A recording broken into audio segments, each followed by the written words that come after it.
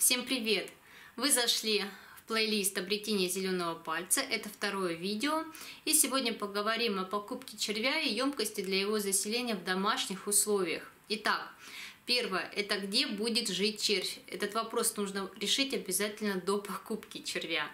Я выбрала ящичную систему компостирования. Эта система хорошо описана Томасом Барреттом. Это исследователь дождевых червей и автор – Кому интересно, поищите в интернете на зарубежных сайтах, подключите Google переводчик и прекрасно все можно прочитать. Это, конечно, больше подходит для фермеров, но вполне можно подстроить все под себя. Для своего удобства здесь важен сам принцип работы. Я приобрела мясные ящики. Они размером в 600-400 на 200. Эти ящики пластиковые, предназначенные для пищевых продуктов. Они очень крепкие, нет никакого постороннего запаха. Они еще хороши тем, что имеют большие боковые отверстия по всему периметру. При этом борта невысокие, и если их ставить друг на друга, будет очень хорошая вентиляция. К ящикам можно приобрести вот такие тоже пластиковые крышки но в этом нет необходимости. Вместо крышки я использую плотную хлопчатую ткань. Если нет ткани, используйте плотный картон. Это, для, это покрывать ящик для того, чтобы меньше было испарения. Дно у этих ящиков сплошное. Ну и как видно, что они непрозрачные. И это хорошо, так как червь свет не любит. Итак, перед заселением червя ящики только промыла чистой проточной водой. Все. Никаких отверстий здесь, как видите, нет, хотя в обычных вермикомпостерах это предусмотрено. Соответственно, и никакой емкости для слива жидкости тоже здесь нет. Все это лишнее. Я считаю, что это мое личное мнение, что образование жидкости – это неправильный контроль влажности субстракта, где, собственно говоря, живет сам червь. А если человек вообще целенаправленно поливает водой, чтобы образовалась вот эта стекающая жидкость, ее а, люди называют еще вермичаем, я считаю, что это делать вообще нецелесообразно. Ну, во-первых, когда вода проходит через биогумус, он скуднеет по составу. Смывается защитная слизь с червя, затапливаются все его уходы, а это воздух для червя все знают, что червь дышит всем телом. И если субстракт перенасыщен вот этой водой, он просто задохнется или убежит. Во-вторых, большое количество воды – это кислотность, и отсюда отравление червя. Ну и в-третьих, большая влажность плюс эта кислотность – это значит, что у вас могут появиться еще не только черви, но и, например, гриндаль, мошки, клещи и так далее. Поэтому если уж очень хочется жидкое удобрение, возьмите просто готовый биогумус, разведите его в теплой воде и дайте настояться там в сутки в темном месте, в теплом, и поливайте. Это мы сделаем вообще в других видео. Теперь понятно, что самый важный момент это контроль влажности, который должен составлять примерно 70-80% и кислотность от 6,5 э, до 7,5. Это тоже подробно мы разберем в следующих видео. Что еще сказать? Ну, для начала, я думаю, что трех ящиков будет достаточно. Итак, где будут содержаться черви и производить биогумус, я уже рассказала. Теперь сами черви. Изначально приобретать их планировала в Гринпике. Это довольно-таки крупный производитель в России червей и биогумуса находится в Москве, по-моему, метро «Шоссе энтузиастов». Вот кому интересно, зайдите в интернет, посмотрите, забивайте «Приобрести червей или биогумус» и сразу высвечивается эта компания.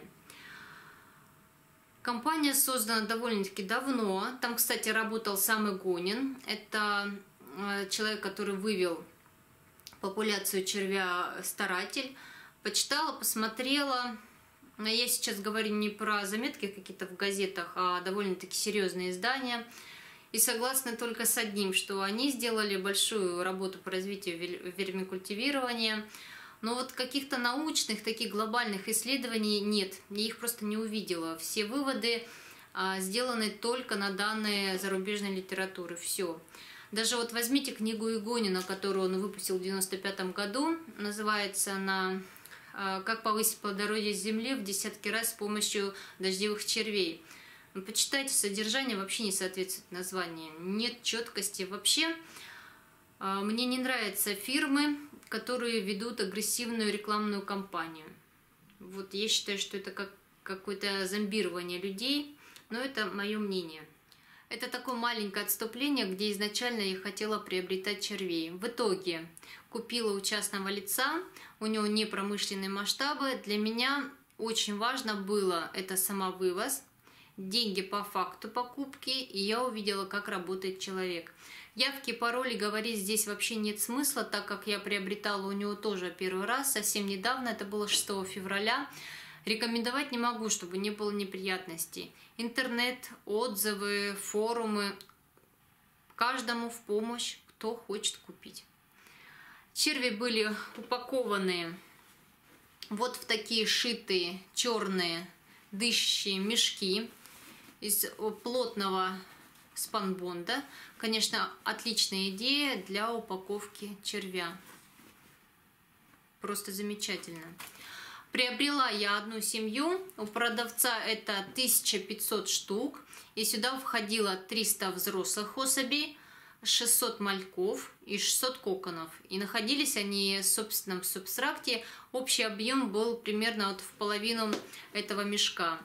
Я их, конечно, не пересчитывала, но на первый взгляд, когда я их заселяла, их было довольно-таки много. В мешке все было чисто, я имею в виду, были только черви, не было посторонней живности. Хотя вот часто а, я читала в форумах, в отзывах, бывает такое, что вместе с червями люди приобретают и живность. Это типа вот гриндаля, клещей. Поэтому самый хороший вариант это сначала посмотреть, а потом купить. Помимо этого я еще приобрела биогумус 20 литров. Хотелось посмотреть не только на червя, но и то, что он производит. Храню его в пакете, в закрытом, в темном месте. Единственное, что я сделала небольшое отверстие, чтобы дышал, потому что биогумус это живая масса. Я в первом видео показывала качество этого биогумуса, мне он очень понравился, отличный. И вам хотела показать так для сравнения небольшое отступление. Этот биогумус я всегда покупала, всегда его использовала. Покупала вот данный пакет, по-моему, в обе. И хочу вам показать для сравнения. А это качество биогумуса, которое мы с вами покупаем в магазине. Вот. Одна пыль. Это, знаете, сравнимо просто вот набрали землю у меня с огорода. Вот такое качество. Сравнить есть чем, и выводы сделать можно. И в заключение хочу сказать, что черви перерабатывают органические отходы высококачественного удобрения, это биогумус. И человек, который понял, что такое биогумус, не станет искать что-то лучше, его просто нет. У меня на сегодня все. Следующее видео будет на тему приготовления и ферментирования, их компостирования корма для червей. Пишите в комментарии свои мысли, подписывайтесь на канал и всем пока!